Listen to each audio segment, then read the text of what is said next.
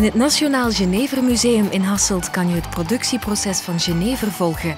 De authentieke beschermde 19e-eeuwse stookinstallatie komt van stokerij Servet in Giraumont Malmedy. Zij toont het hele proces tot in het laatste detail.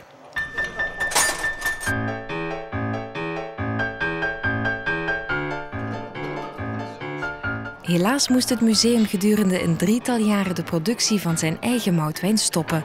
Bepaalde onderdelen van de stookinstallatie waren zo erg verroest dat je ze met de huidige strenge hygiëne- en veiligheidswetgeving niet meer mocht gebruiken. Gelukkig was er tijdens de productiejaren een strategische voorraad moutwijn opgeslagen, zodat de Geneverproductie ononderbroken verder kon. Ja, ja. De beslagkuip en de drie gistingskuipen waren er het ergst aan toe en hadden de hoogste nood aan een grondige restauratie. Daar gaan we! De wanden en de bodem waren erg ongelijk en helemaal verroest. We gaan ze nog een, een, nieuwe bodem en ze eruit een stuk rond uithalen en dan wordt er een inox stuk ingezet.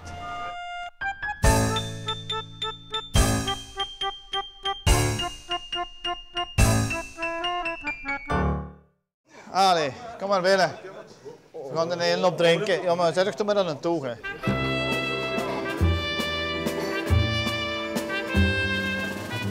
Hè. Want dit zijn wel speciale werken, hè. Maar zeker met dit weer. Hè. Het, is, het is min 5 en uh, het koude werk op, op, het, op de straat natuurlijk, dat is, je geeft nood aan een borrel. Dus, uh... hey, mannen, gezondheid hè. en bedankt, bedankt voor, voor het werk wat je geleverd hebt. Uh... En dat borrelje moet er natuurlijk bij zijn. we zijn in, in het Nationaal Genever Museum. Hè.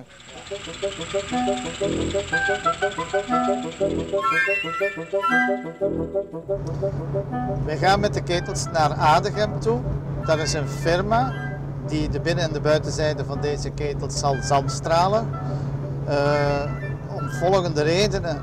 De ketels waar wij al een 15 jaar, 15 jaar hebben mee gedistilleerd of gestokt, Genever gemaakt, die zijn een beetje gecorrideerd, geoxideerd. Door het zandstralen gaat die hele oxidatie daar laag, eigenlijk is dat een oude een roestlaag, die gaat er vanaf, van weg, die gaat gezandstraald worden en dan komt een nieuwe coatinglaag op. Om het hart van het museum weer te laten kloppen en een restauratie haalbaar te maken, diende het museum bij de Vlaamse gemeenschap een dossier ter bescherming van de stokinstallatie in.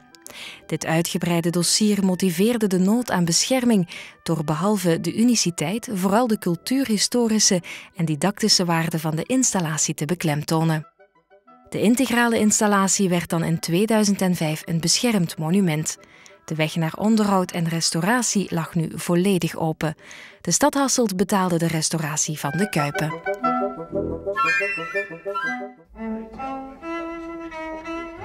Deze bodem heeft wat meer oprand daar. De eigenlijke restauratie verliep in verschillende fasen. Het is voor u van belang dat dat dan gemaakt wordt. Hè? Maar daar staan de poten niet opgetekend. Hè?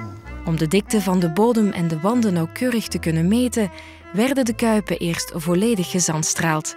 Na de zandstraling bleek dat de bodem van elke gistingskuip onvoldoende dik was en helemaal vernieuwd moest worden.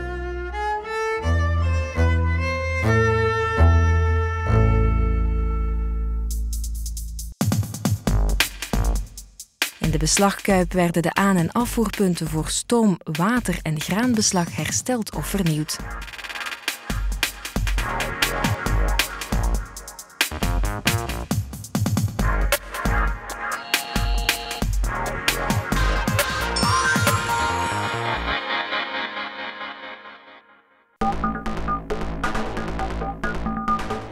Daarna kregen de vier kuipen allemaal integraal een deklaag die voldeed aan de strenge normen van voedingshygiëne en veiligheid.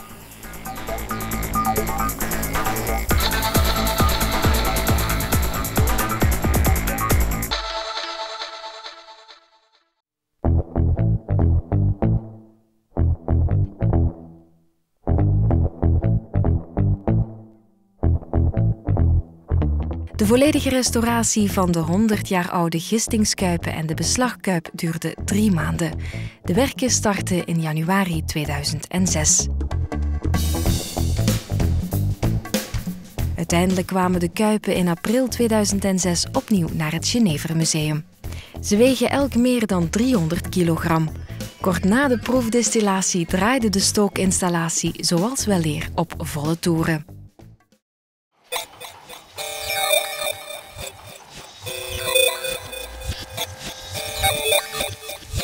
De graangenever van het Nationaal Genevermuseum wordt gestookt volgens een 19e-eeuws recept. Er zijn drie belangrijke productiefasen. Het mouten, de productie van moutwijn en de aanmaak van graangenever. Gerstmouten gebeurt niet in het museum. Moutwijn en graangenever maken ze er wel. De gerst hebt stortgekeerd, omdat uh, die het moeilijk oplost. Je moet alleen maar zorgen dat je groot vertrouwen hebt met de maalder, hè. dat die goed, goed materiaal haalt. Hè. Onze verhoudingen in, in granen die wij storten om Genever te maken is een derde rogge, een derde gerst, dus ongemout, en een derde mout. Dat is mout nu. Nadat het graan gemalen en de gerstemout gemaakt is, versuikert het zetmeel in de gerestaureerde beslagkuip.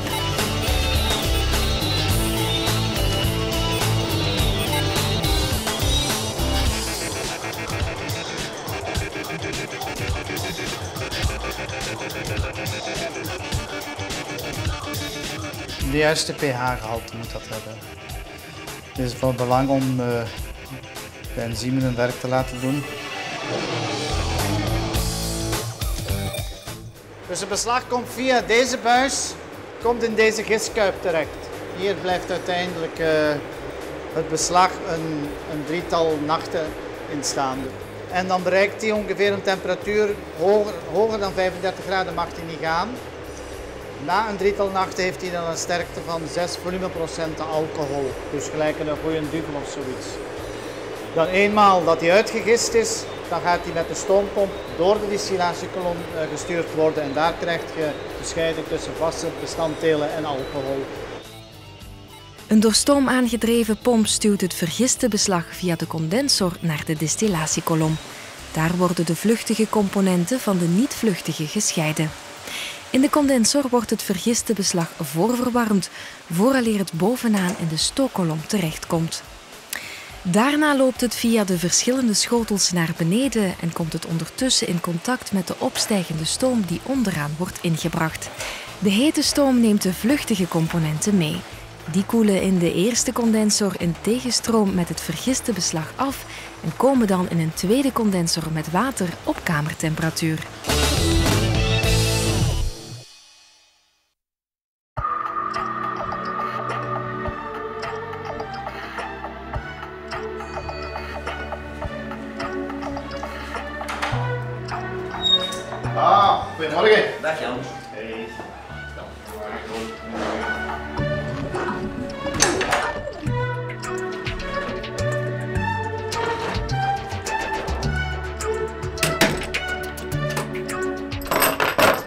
Nadat de ruwstook in de kolom gedistilleerd is, wordt hij opgeslagen in een meetvat. Dit meetvat staat achter de gesloten deur van het bijzonder lokaal. De stoker kan deze deur alleen openen in aanwezigheid van de controleurs van douane en accijnzen. In het meetvat stellen de controleurs de gestookte hoeveelheid ruwstook vast en nemen zij stalen om het alcoholgehalte te bepalen. Op basis van deze vaststellingen worden de accijnzen berekend die de stokerij verschuldigd is aan de overheid. 24, 9. 6, 65.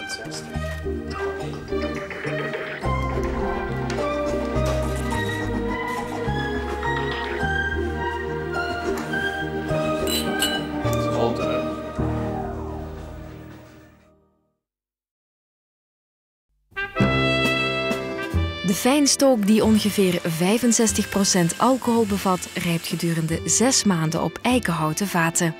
De geur- en smaakrijke moutwijn wordt gefiltreerd, met een graandistillaat vermengd en met water verdund tot 40%. Daarna aromatiseert hij met een alcoholisch extract van geneverbessen, karwijzaad en gentiaanwortel.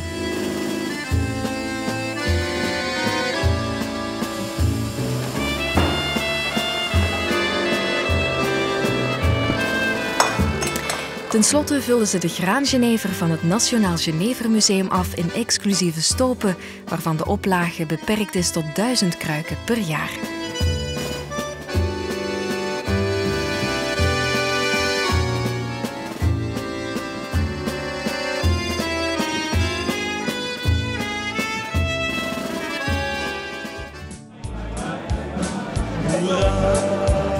Tijdens de jaarlijkse Hasseltje Geneverfeesten wordt de Genever die dat jaar gestookt is voorgesteld aan het publiek. Maar eerst moet de huisgenever van het Nationaal Genevermuseum worden voorgeproefd en goedgekeurd. In aanwezigheid van de confrérie van de Hasseltje Genever, de voorzitter en de coördinator van het museum, presenteert de meesterstoker zijn Genever aan de burgemeester van Hasselt. Als die de nieuwe Museum Genever geproefd en goedgekeurd heeft, trakteert het museum iedereen die zin heeft op een druppel van het huis.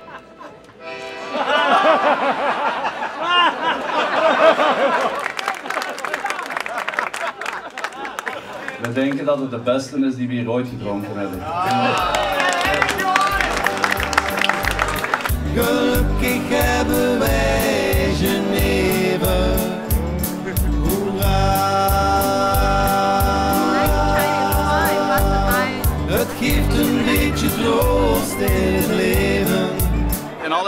Vind ik het echt de beste Genever van de voorbije jaren. Heel zacht, gaat heel goed binnen. Het is een heel gevaarlijke Genever denk ik daarom. eh, maar hij is echt waar heel lekker. Proficiat, eh, heel goed. Is goed. Heel goed. Hij smaakt naar nog. mag er zijn. Heel goed. Ik vond hem heel goed van smaak. Ja? De nieuwe Genever is, is eigenlijk heel goed, zacht. Ik heb heel goede reacties gehoord. Nu, ik heb de oude moutwijn heb ik gemengd met de nieuwe. Vandaar dat het een beetje zacht geworden is. Maar eh, de ketels die we gebruiken zijn vernieuwd, gerestaureerd. En dat maakt het natuurlijk makkelijk om mee te werken. Dus zo Genever. Ik zeg niet dat het moet, maar Geneve dat is goed.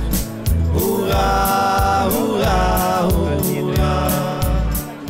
Lekker zo wat erin, hè. Een goed Genever gezegd.